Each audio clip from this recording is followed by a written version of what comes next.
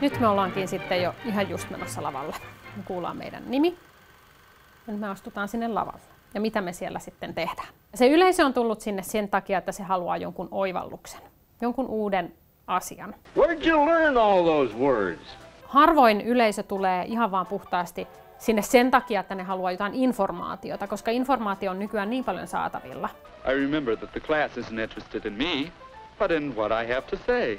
Ne haluaa jonkun elämyksen. Ne haluaa sulta jonkun jotain uutta ajattelemisen aihetta, ei niinkään informaatio. Ja silloin se tapa, millä me se asia tuodaan esiin, onkin itse asiassa hirveän paljon tärkeämpi asia kuin vain se, että meillä on se joku informaatio, se joku asia, mikä me halutaan jakaa. Mr. Willis has an important idea to express, but he lacks the vocabulary to express it.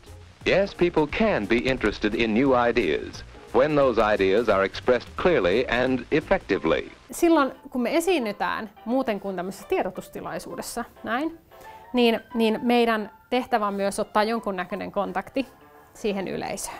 Eli nyt me ollaan siellä lavalla. Ja riippuen tietysti siitä, että mikä siellä on se, mikä se lava on, onko se auditorio, onko se teatterilava, mikä se mahtaa ollakaan, niin siellä jo ne puitteet tekee esiintymisestä erilaisen. Voi olla sellainen tilanne, että sä et yhtäkkiä näekään muuta kuin eturivin. Niin mitä mä silloin teen, mihin mä sitten katson? Ähm, tai sitten mä en näe käytännössä ollenkaan mitään. Joskus voi olla sellainen tilanne, että on niin kirkkaat valot, että, että, että kai siellä on yleisö, mä en näe niitä.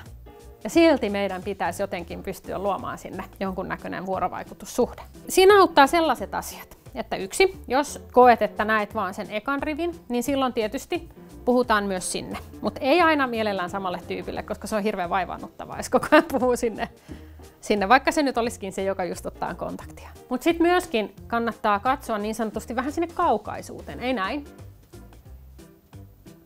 koska tämä näyttää sitten tietysti siltä, että Aa, toi apua, minä haluan jotain apua tänne näin. But uh, this isn't the way you talk, is it? Vaan mieluummin niin, että, että, että katsotaan sinne vähän viimeisen penkkirivin sinne taakse.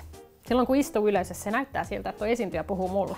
Sitä enemmän, mitä me esiinnytään, niin sitä helpommin me huomataan niitä, niitä meidän, että ai nythän mun hengitys lähti meneen nopeampaa tai nyt menee senat sakaisin ja nyt mä sökön sönkötän tässä nyt hirveästi ja hirveästi puhun kauhean nopeasti ja näin. Niin mitä enemmän me sitä tehdään, sitä enemmän me huomataan nämä asiat, jolloin me voidaan aina ottaa askel taaksepäin. Niin silloin me hengitetään. Vesilasi on tietenkin meillä mukana, koska se voitelee ääntä. Otat sen tauon, otat sen vesilasin, hengität pari kertaa ja sit jatkat. Yleisö haluaa myös niitä taukoja, koska ne myös prosessoi jotain asiaa. Ja sä oot saattanut just sanoa jonkun asian, mistä jollekin tulee joku hirveän hyvä oivallus. Ja jos sä meet koko ajan eteenpäin kuin höyryjuna, niin se ei ehdi prosessoida sitä asiaa. Jos tuntuu siltä, että se yleisö ei mitenkään lähde siihen mukaan, tai tuntuu, että ne on kuin jotain kivikosvoja, tai ne haukottelee, ehkä joku on jopa nukahtanut sinne penkkiin, toivotaan, että näin ei ole, mutta jos näin on sattumoisin käynyt, hyvä tapa on tehdä se, että sä yhden asian siellä sun esityksessä vaihdatkin kysymykseksi. Jos sä olet liian kliinisesti harjoitellut sen sun esityksen niin, että tässä mennään näin ja tästä ei niin kuin poiketa ja tämä on näin ja sä oot kuin robotti siellä, niin sä et ehdi reagoimaan, sä et pysty reagoimaan siihen, mitä muuta siellä tapahtuu. Eli me, me voidaan tarttua kiinni siihen, että mitä siellä yleisesti tapahtuu. Sä voit aina kysyä, hei, oliko teillä joku mielenkiintoinen keskustelu, heräsikö sulla jotain kysymyksiä tästä äsken, tai mulle sattui kerran tämmöinen asia, ja onko teille käynyt näin. Että otetaan kiinni siihen meidän esitykseen ja kysytään sieltä yleisöltä. Ja se on hyvä meidän niin kuin esiintyjänä myös muistaa sellainen kikka kolmonen, kun ollaan siinä, siinä tota, tilanteessa.